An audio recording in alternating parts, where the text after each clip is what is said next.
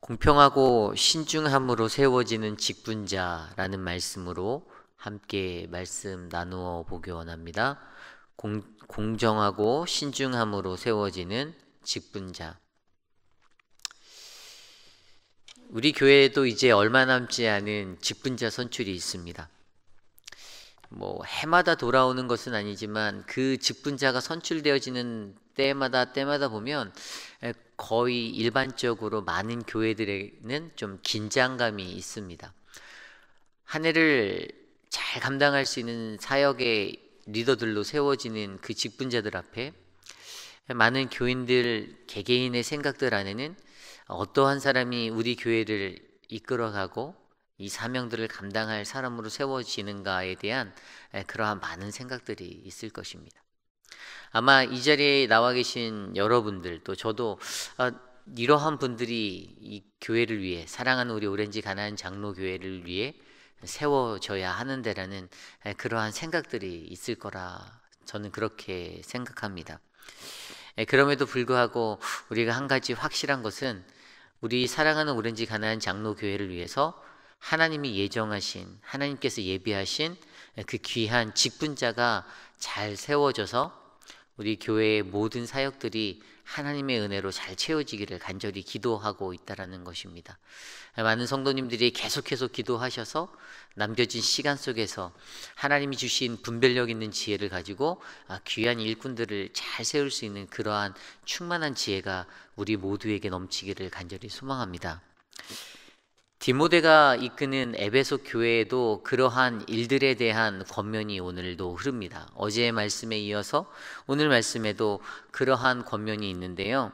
특별히 오늘 말씀 21절과 22절 말씀에 이렇게 기록되어져 있습니다. 하나님과 그리스도 예수와 택하심을 받은 천사들 앞에서 내가 엄히 명하노니 너는 편견이 없이 이것들을 지켜 아무 일도 불공평하게 하지 말며 아무에게나 경솔히 안수하지 말고 다른 사람의 죄에 간섭하지 말며 내 자신을 지켜 정결이 정결하게 하라. 여기에서 사도 바울이 그 디모데에게 권면하는 그 권면이 무엇입니까? 그냥 가볍게 얘기하는 게 아니라 엄히 명령한다라고 그에게 말하는 것이죠. 이것은 일상적인 조언의 차원을 뛰어넘어 거의 명령에 가까운 어, 디모데보다 훨씬 앞서 있는 견륜의 그러한 목회자적인 어, 선배로서의 조언이었죠. 그리고 충고였습니다. 강력하게 이것을 내가 너에게 엄하게 명령하는데 그것은 무엇입니까? 이 안에 네 가지가 나와 있는데 첫 번째는 편견 없이 이것들을 지켜 아무 일도 불공평하게 하지 말며 오늘 앞서 이제 읽었던 말씀의 내용이 장로라는 직분자를 세우는 것에 대한 이야기를 나누는데요. 뒤에 이 이야기들을 살펴보겠지만 이것들을 할때 편견 없이 불공평하게 하지 말라라는 겁니다. 아, 개인의 사견과 어떤 사적인 감정, 개인 간의 관계성, 뭐 그런 것들로 통해서 자기가 선호하고 자기 입맛에 맞는 그러한 사람이 아니라 정말 공정하고 공평하게 편견 없이 장로의 직분자들을 세워라 라고 말해주고 있습니다. 또한 아무에게나 경솔히 안수하지 말라라는 두 번째 모습은 어떤 것입니까? 이것은 어, 장로를 비롯한 다른 직분자들을 세울 때 안수식, 안수를 통해서 그 의식을 행하는 것을 빗대어 얘기함으로써 그 안수식의 권위에 대해서 이야기합니다. 그러니 그 안수하는 것에 대한 권위가 있는데 이것을 그냥 쉽게 이렇게 감당해서 행하는 것, 그것이 아니라는 것을 그에게 가르쳐 주는 것이죠. 결국에 내가 안수해야 될 그 대상, 그 직분자 선출이 굉장히 신중하게 진행되어져야 할 그러한 것이라는 것을 디모데에게 알려주고 있습니다. 또 다른 사람의 죄에 간섭하지 말라. 이것은 무엇을 설명할까요? 안수하여 직분자들을 세우는 거. 그것은 바로 안수자가 그 사람들을 보증하는 행위다라는 것을 설명해 주고 있습니다.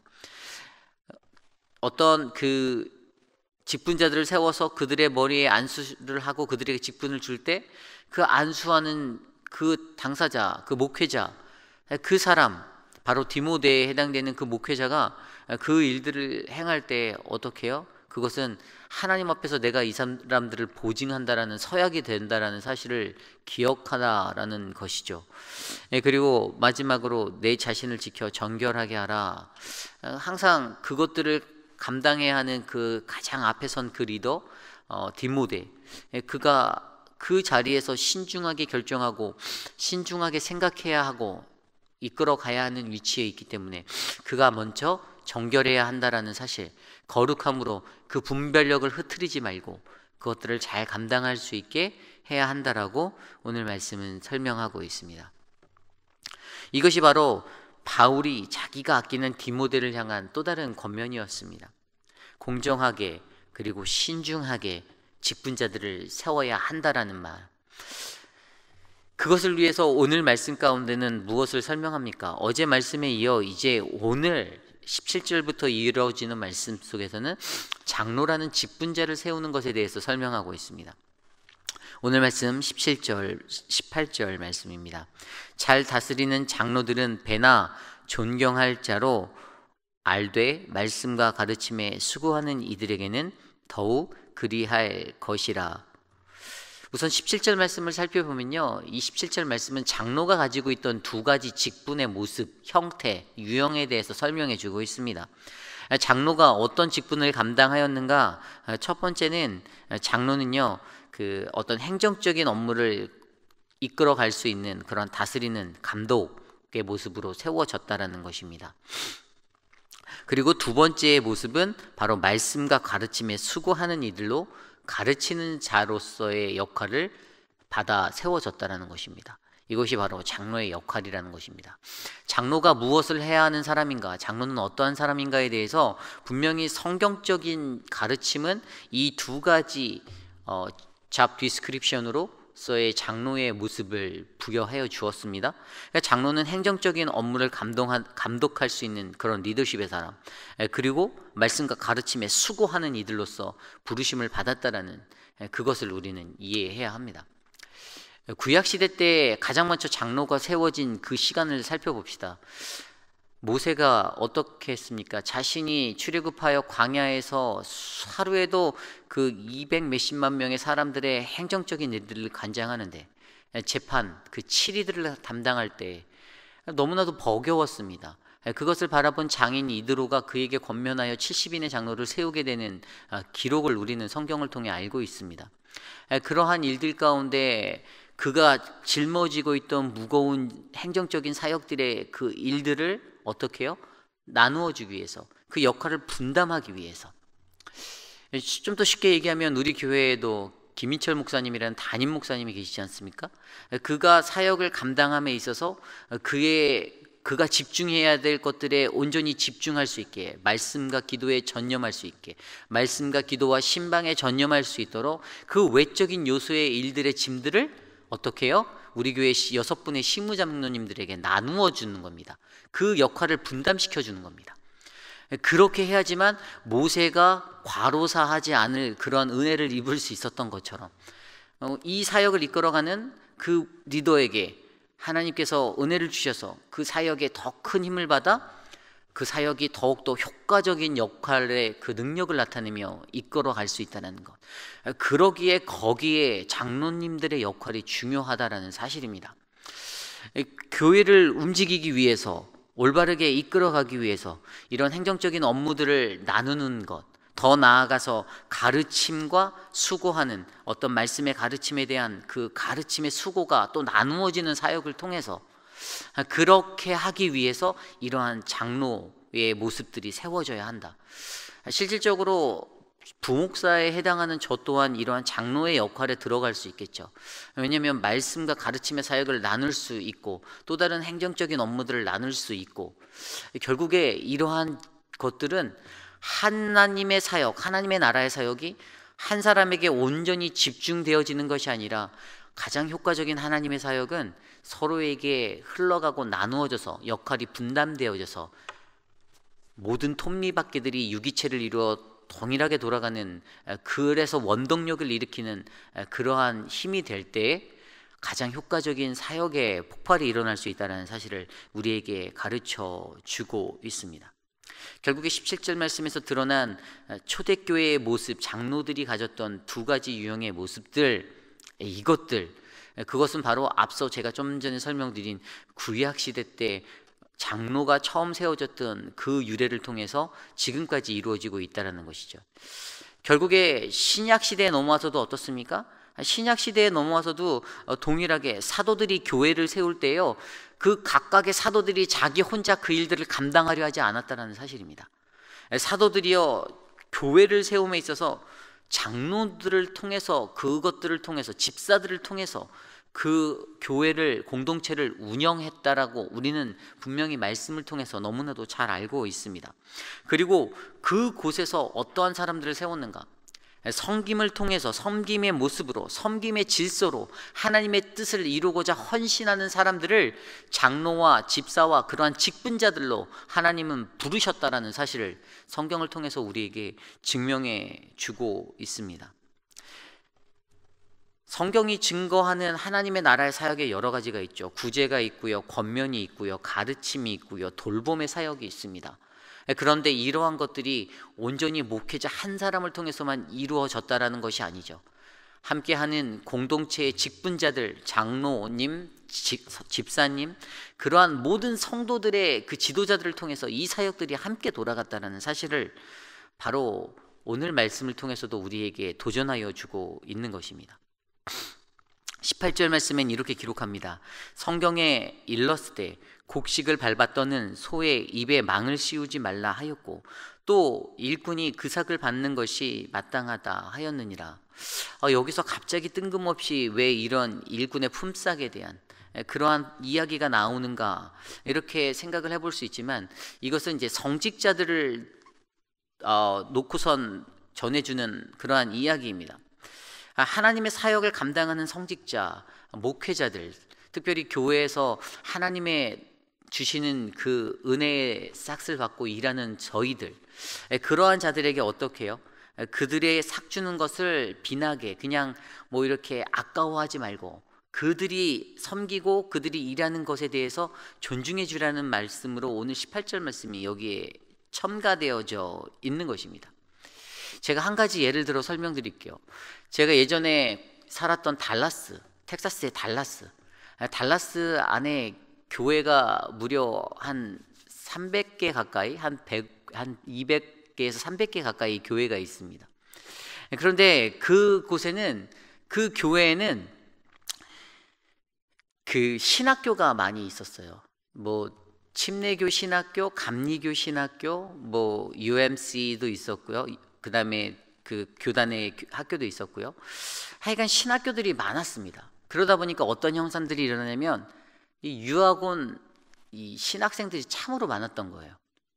그러다 보니까 그 곳에는요 한 가지 걱정이 없었습니다. 우리는 언제든지 사역자들을 구할 수 있어라는 담대함이 그 교회 지도 리더십들에게 있었어요. 그래서 한 가지 아주 안 좋은 병폐를 그들이 만들었는데 그것이 그 파트 사역자들의 사례비를 단합해 버렸습니다. 근데 그 가격이 정말 상상을 초월하는 가격이었어요. 물론 목회자로서 물질의 가격에 그런 것들에 집중하는 것이 아니지만 제가 여기서 말씀드리고자 하는 요지는 그러한 모습들의 병폐가 생길 수 있었던 그러한 것들이 있었다는 것입니다. 사역자들이 너무 많다 보니까 그들이 한 달에 자신의 교육부 사역을 감당하고 뭐 청년부 사역을 감당하고 파트 사역으로 일할 때 파트 사역자들의 사례비는 정확하게 한 달에 400불이었습니다. 사실 400불로 그들의 생활은 전혀 불가능하지요. 그럼에도 불구하고 이러한 모습들이 어디서 일어났습니까? 그 환경적으로 우리에게 많은 사역자들이 있고 신학생들이 많으니까 우리들은 언제든지 당신이 아니어도 또 다른 사람을 구할 수 있어라는 마음들이 그들에게 잠재되어 있었다는 겁니다. 그리고 그것이 그 지역사의 문화가 되었고 다른 교회도 그렇게 하니 우리 교회도 그렇게 한다라고 그들은 그렇게 생각하였습니다. 저는 개인적으로 그것이 굉장히 옳지 못한 것이다라고 생각하게 되었어요.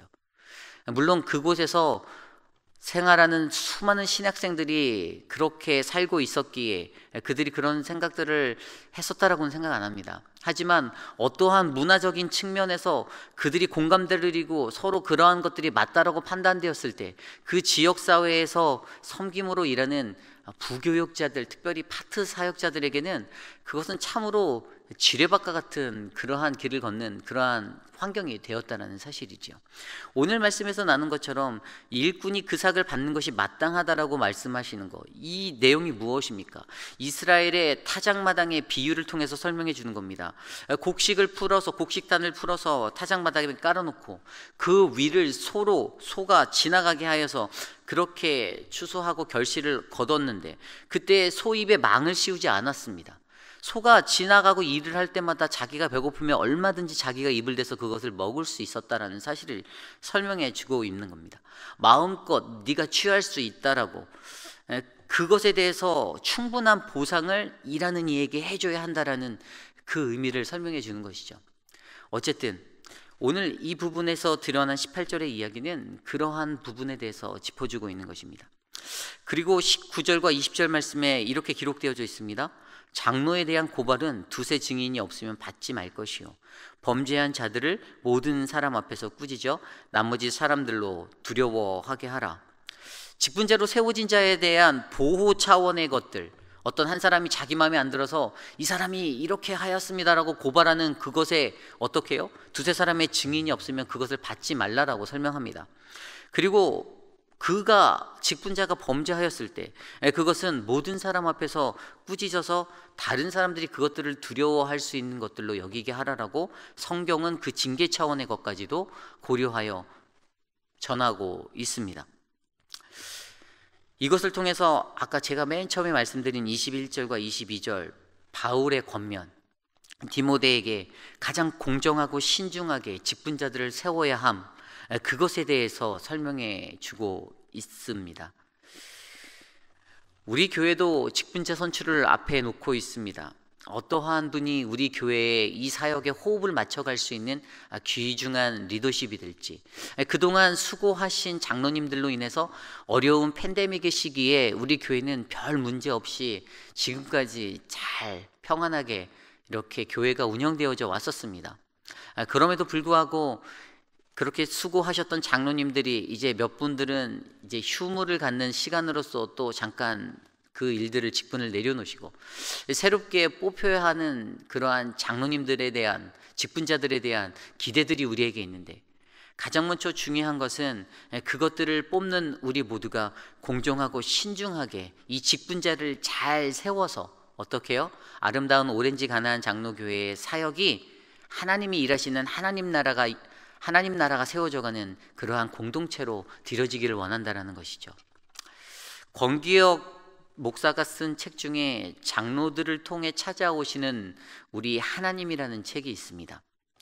이 책에서 이야기하는 것은요, 이 장로교 기반인 어, 그러한 장로교회의 장로들, 직분자들, 왜 장로들이 세워지고 그들이 어떠한 사람들이 세워져야 하는 것들을 성경적으로 기술해 놓은 책입니다.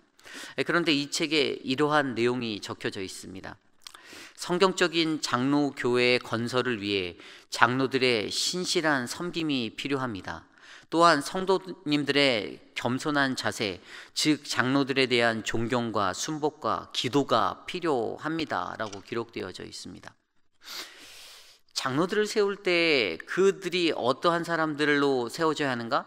바로 신실한 섬김의 사람들로 준비된 자들이 하나님 앞에 부르심을 받아야 한다라는 사실. 예, 그리고 그것을 함께하는 성도들 어떠한 모습으로요? 겸손한 모습으로 또 그들에게 존경하는 마음과 또 순복하는 마음과 그들을 위해 중보하는 그 기도의 마음으로 그들을 세워야 한다라고 그렇게 기록되어져 있습니다. 지금 이 순간에 우리에게 가장 필요한 것이 무엇입니까? 우리에게는 바로 존경과 순복과 기도의 모습이 필요합니다. 무엇보다도 사람 사람이 사람을 뽑는 자리가 아니라 사람이 하나님이 주시는 그 지혜와 명철로 분별하여 하나님의 사람들을 일꾼들을 세우는 그러한 기도가 오늘 우리에게는 가장 필요하다라는 것입니다. 결국에 그러한 것들을 감당할 때 특별히 그 사역 앞에 내가 나아가야 하- 하는구나라고 생각하는 그 장로들에게 또 모든 성도들에게 하나님이 강력하게 주시는 말씀이 바로 오늘 말씀 24절 25절입니다. 어떤 사람들의 죄는 밝히 드러나 먼저 심판에 나아가고 어떤 사람들의 죄는 그 뒤를 따르나니 이와 같이 선행도 밝히 드러나고 그렇지 아니한 것도 숨길 수 없느니라. 여기에서의 핵심이 무엇입니까? 무엇이 선하고 무엇이 악한가? 진리는 결국에 시간이 지나면 다 알게 되어 있다라는 것이죠. 아무리 사람이 말로써 그것을 가리고 말로써 그것을 꾸민다 하여도 하나님 나라의 사역과 하나님 나라의 일들은 어떻게 해요? 하나님만이 아신다. 그러니까 직분 맡은 너희들이여 장로들이여 지도자들이여 또 집사들이여 힘을 내라 이겁니다.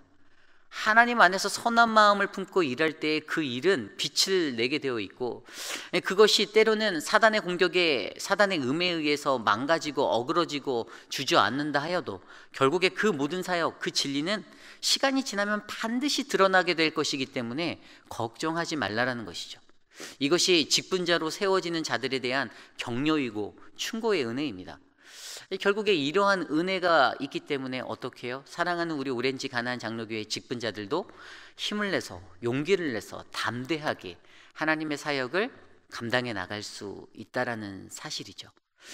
저는 우리 사랑하는 오렌지 가나안 장로교회 이제 2022년도를 눈앞에 둔 이 시간 속에서 불과 몇 개월 남지 않은 이 시간 속에서 하나님이 주시는 가장 귀한 그러한 직분자들이 올해는 세워지기를 간절히 소망합니다. 그래서 담임 목사님을 비롯한 모든 교육자들 또 모든 직분자들이 한 마음 한 뜻으로 하나님 나라를 우리 이 산타나 942 윌셔 에비뉴 이 자리에 이루기 위해서 이곳에서 하나님의 가장 큰 은혜의 쓰임을 받기 위해서 하나님 앞에 함께 동역하고 동행하는 우리 모두가 되기를 간절히 소망합니다. 이 시간 그것들을 놓고 함께 기도하기 원합니다.